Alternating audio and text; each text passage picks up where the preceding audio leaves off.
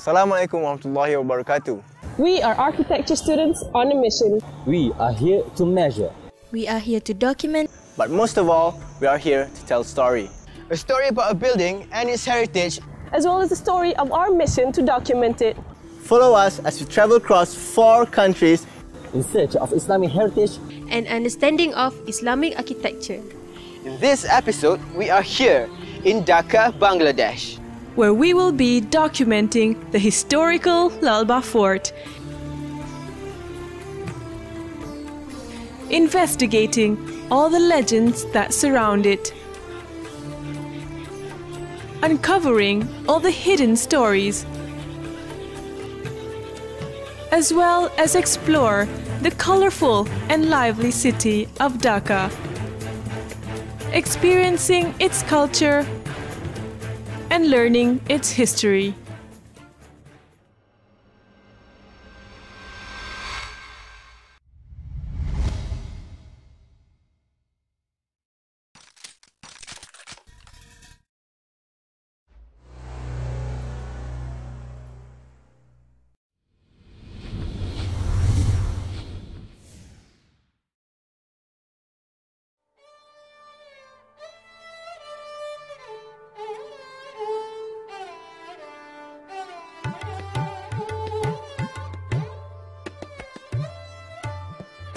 Bangladesh, historically known as Bengal. A beautiful South Asian country with a population of over 150 million. The third largest, most homogeneous population in South and Southeast Asia, and the eighth largest in the world. A subtropical monsoon country whose body is made almost entirely of deltas and snaking bodies of water, where the two great rivers, Ganges and Brahmaputra, meet. It is as rich in culture and resources as it is rich in history. After nine months of liberation war with Pakistan, on the 16th of December 1971, Bangladesh achieved independence until today. As we arrive in Dhaka, the capital city of Bangladesh, we are hit by its bustling colorfulness, a full sensory experience in every sense of the word. With the population exceeding 14 million, it is considered to be the fastest growing city in the world. There are several myths surrounding the name Dhaka, which in Bengali means concealed. This concealed forest area was once called Dhakeshwari, referring to the Hindu Buddha concealed goddess. Dhaka as we know it started along Buriganga River during 1608, although the settlement is known to have been in existence since the 7th century as a small riverside township. Buriganga River differs in its form and location from the early period of Bengal and from Bangladesh today. This is because of a natural geographical effect, and the river has naturally shifted from its original location. The journey of Islam in the Bays of Bengal started through Afghan and Persian preachers who were merchants coming to Chittagong for trading. Prior to that, the influence of Hinduism dated back to the ancient period when Bengal was still in the Indian Empire. The 13th century was when Muslim rule started in Bengal after Bakhtiar Khalji conquered Nadia in 1204, thus beginning the period of early sultanate. During this time, Islam spread rapidly in Bengal, ruled by lineages of sultans. Mughal rule was established in Bengal after the defeat of Karani Afghan Daud Khan. By 1596, Mughal rule has merged all over Bengal, making it the eastern edge of an empire. The Mughals in Bengal, like their masters in northern India, were the direct descendants of the Mongol Timurid race of Central Asia and Persia. The first emperor of the Mughal Empire, Babur, introduced the idea of Mughal architecture. A descendant of the famed Mongol warrior Timur, he started to expand his territory to the southern of Central Asia at the age of 12, capturing Samarkand, Herat, Kabul, and later India. After Babur died, the empire was left to his son Humayun. He was exiled to Persia for 15 years after a powerful Afghan commander Sher Shah defeated him. He was then followed with Akbar the Great. It was during Akbar's reign that Mughal architecture fully came to life. Mughal architecture during Akbar's rule, who had an eclectic personality, represented that unique blending of Persian architecture with the Indian style. Akbar expanded the empire over the greater part of India and also brought Bengal under the Mughal rule and made Rajmahal as Akbarnagar, the capital city of Bengal. His successor, Jahangir, moved the capital to Dhaka, which was then named Jahangirnagar. Shah Jahan, the ruthless prince, crowned himself as the ruler of the universe in the last years of Jahangir's life control of the empire. During the earliest period of his rule, he demolished a few of Akbar's sandstone structure. His most outstanding masterpiece of Mughal architecture, unmatched for its grandeur of conception, perfect proportions, and sumptuous ornamentations, was his Taj Mahal. However, in the heart of old Dhaka lies Lal Bagh Fort, an incomplete fortress Beyond its red brick walls lies a story, a story just waiting to be told. South of the complex, just under the rooftop garden, are the Lal Bagh Fort barracks.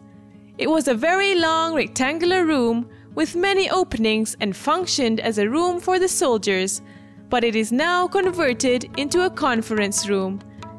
Next to the barracks is an underground gunpowder room.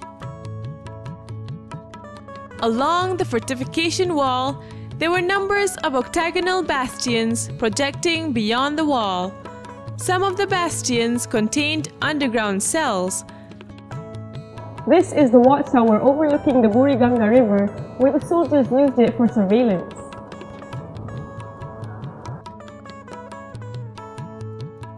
As mentioned earlier, Lal Bagh Fort was built near Buriganga River. From this river, the water was drawn uh, by the huge uh, wooden water wheel and then it was collected to the overhead reservoir. We're a water wheel which was supposed to be here to supply water from the river below, which is now the street. There was a very detailed terracotta piping system that channeled the water to different places of the fort. There's one channel going towards the mosque for ablution. There's other channel going towards the garden. And there could be other water channels that goes to the hammam or the baths or the vivanikas. Similar to other Mughal gardens, Lal Bagh Fort also uses the water pressure system this involves the distribution of water from a higher level to the lower level. From the rooftop garden, water will be distributed to the ground level through a water sheet known as a chador. This chador is a unique feature of the water system whereby it produces soothing sounds which will create different moods to the listeners. Later, the water will be channeled to the entire fort including the mosque and the Diwani Am. Know that when the Mughal came here, they brought architects, artisans, craftsmen, artists, all with them. They have huge group of people with them. But what the thing that they couldn't uh, bring here is the material. And their favorite material was red sandstone and white marble. Bengal, the only available thing is mud and brick. So they have to reinterpret their whole design concept into the local material. The walls are load bearing walls, walls that bear a load resting upon it by conducting its weight to a foundation structure. The bricks were laid layer by layer to form a solid wall. The thickness depends on the weight to be carried, and in this case, the walls are very thick.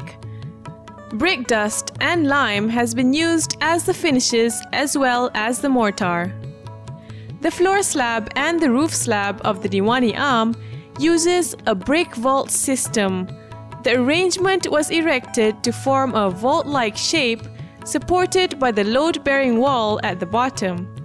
The vault shape can be seen clearly through the interior ceiling.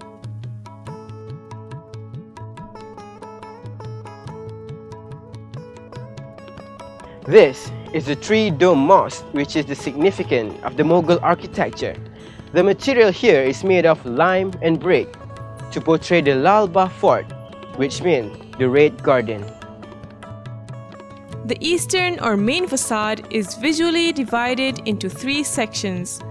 The middle section is emphasized by a frame of slender engaged columns, a raised cornice, and a larger dome. Instead of pillars, transverse arches seen inside the mosque support the dome structure. Arches are important for Mughal buildings because the whole structure stands on these elements. The dome is then constructed brick by brick. The three domes in onion shape are fluted and sit on octagonal drums decorated with rows of blind merlons.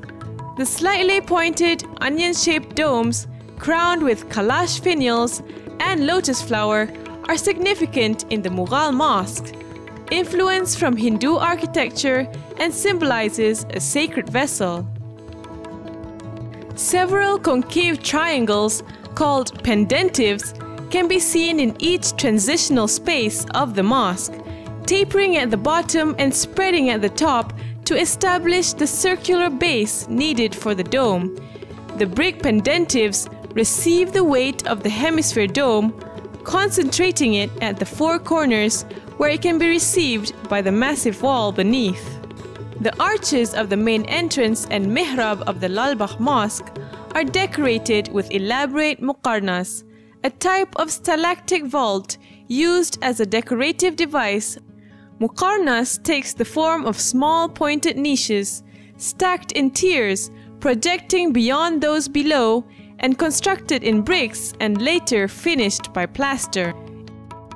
Contrary to the structural arches in the Lal Bagh Fort Mosque, the distinctive multifoliated arched openings in the Diwani Am are only ornamental arches.